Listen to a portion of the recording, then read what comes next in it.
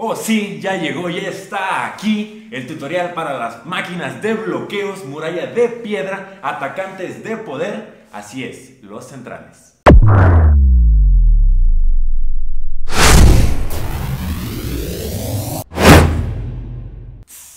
¿A poco no está perrona la introducción? Buen día a todos, mi nombre es Mauro Isaac y soy jugador profesional de voleibol de sala aquí en Brasil. Y el día de hoy te quiero hablar junto con mi amigo, Rumi y hermano de otro país, Luis Felipe, que también es el central de nuestro equipo.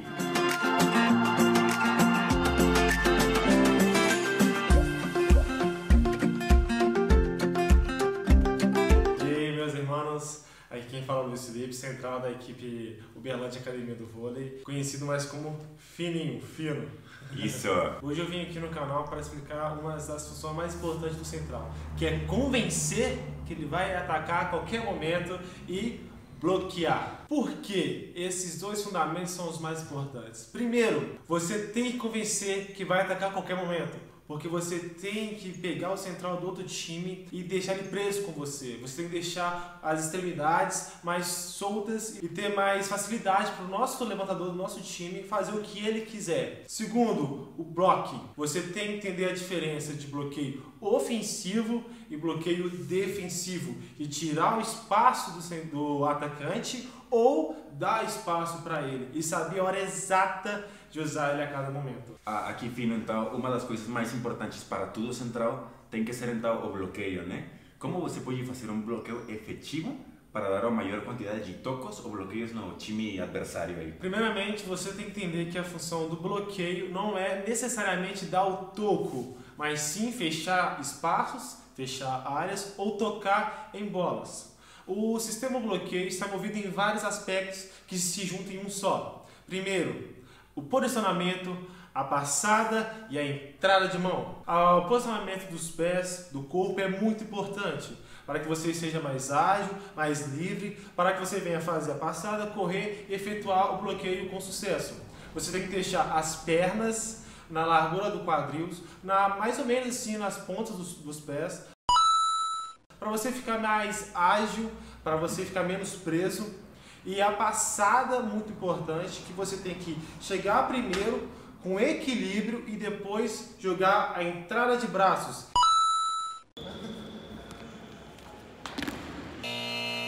Tentando sempre colocar o ombro perto da orelha para colocar o bloqueio ofensivo e tirar espaço do atacante. Aquí la cosa más importante a la que queremos llegar es que en la medida que tú entres del otro lado de la red con tu bloqueo, vas quitando espacio de la cancha para el atacante. Entonces, si tú haces un bloqueo hacia arriba, tú das mucho espacio a la altura de tus codos para que el atacante meta la bola. Sin embargo, si la bola está ahí y yo llego y encierro con mi bloqueo la bola, estoy quitando espacio para que la bola pase. Eu percibo nos jogos que tem centrais que com um passe A, um passe B, queimam o tempo tudo com outro central. E tem outros também na outras situações, na onde eles estão mais na espera um pouquinho. Eles, ainda se o passe está na mão, eles vão para a saída, vão na ponta para o bloqueio. Como você faz essa decisão? Você queima o tempo tudo ou você fica mais na espera aí? Isso vai depender muito da equipe que você está jogando, o central que você está jogando e o que a comissão técnica quer que você faça. Primeiramente, em competições de alto nível, passe na mão, você tem que queimar com o central. Você tem que tirar o espaço dele a qualquer momento. Quando o passe vinhar e você ficar na dúvida Queime. É melhor você fazer uma coisa bem feita do que fazer duas mais ou menos. Isso se não tiver nenhuma instrução, se não tiver nenhum comando da sua equipe, queime. Passear, mão em cima, na frente do central. Mas se o central adversário não for um central que não receba muitas bolas, não é um cara muito efetivo, a escolha da comissão pedir que uma das bases fique com o central e você vai direto com opção para a entrada ou para a saída. O fino aqui, uma das dificuldades que eu percebo muito rápido nos centrales mais novos, que eles estão fazendo a puxada bem perto da rede. Em muitas situações, o levantador levanta neles, e a bola está vindo por trás do ombro, então não dá para fazer um ataque forte. Ou como você faz para conseguir atacar essas bolas? Entras mais afastado? Isso, essa foi a minha maior dificuldade quando eu comecei a jogar. É a distância do atacante com o levantador e a bola. Tudo vai mudar a partir do momento que você entender que o vôlei, o levantamento central é feito de padrões despadronizados. Porque o que acontece? Quando passear, o central sempre está um pouco depois da linha dos três. Então, ele sempre ataca certo. Mas quando a bola é deslocada na rede, muitas vezes os centrais mais novos continuam fazendo a mesma puxada, mas não entende que ele tem que usar um outro padrão de puxada. Ele tem que acompanhar o levantador e puxar mais um pouco afastado, ou até às vezes um pouco mais à frente, quando a bola passa muito e o, e o levantador só encosta. Então o que me fez mudar foi ter a leitura do levantamento e conversar com o meu levantador para que a gente chegasse num acordo. É sempre importante que você tenha o salto vertical do que o salto horizontal, para que você não confunda as coisas, porque não adianta você puxar distante e se projetar completamente para frente.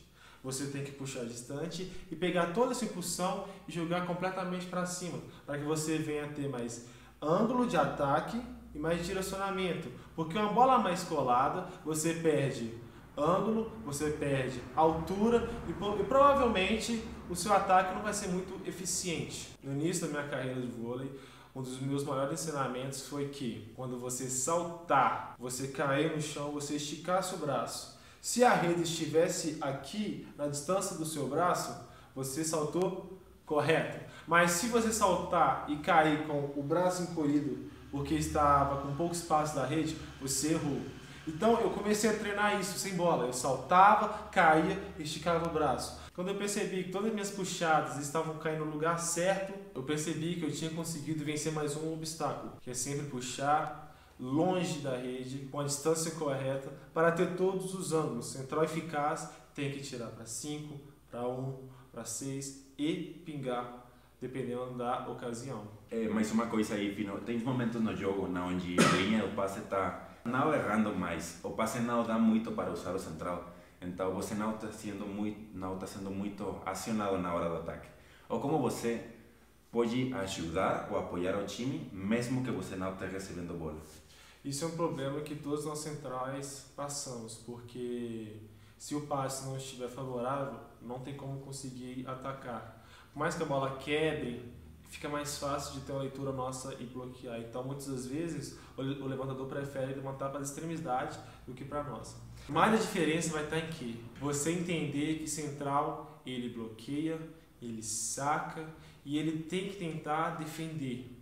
Então, quando você não está sendo muito acionado no ataque, não fique triste. Se destaque no bloqueio. Se não, se destaque no saque. Se destaque tentando encostar na bola.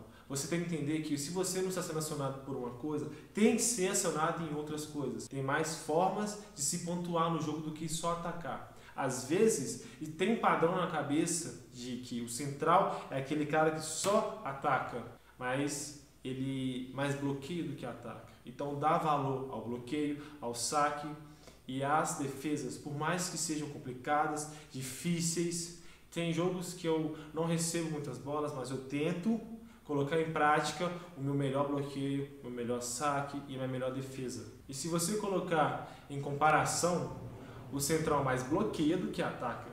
Tem mais bolas para ele bloquear do que para ele atacar. E como eu falei, bloquear não é necessariamente dar o bloco, mas sim encostar na bola para poder dar uma defesa e gerar um contra-ataque, ou mesmo você tirar o espaço, porque tem vezes que você combina fechar a posição 1 para que o líbero defenda ele na 5. Então nem sempre é tocar também, mas sim tirar o espaço do adversário. Entonces, amigos, si eres central, déjame aquí abajo en un comentario cuál ha sido una de las mayores dificultades que has tenido a la hora de jugar. Créeme que leo todos los comentarios y así leyéndolos podremos hacer juntos un video en donde te apoyemos abordando ese tema. Entonces, gente. Entonces, gente. Eso fue todo. Eso fue todo. Por el video de hoy. Por el video de hoy. si te gustó el contenido. Si te gustó el contenido. No olvides. No olvides.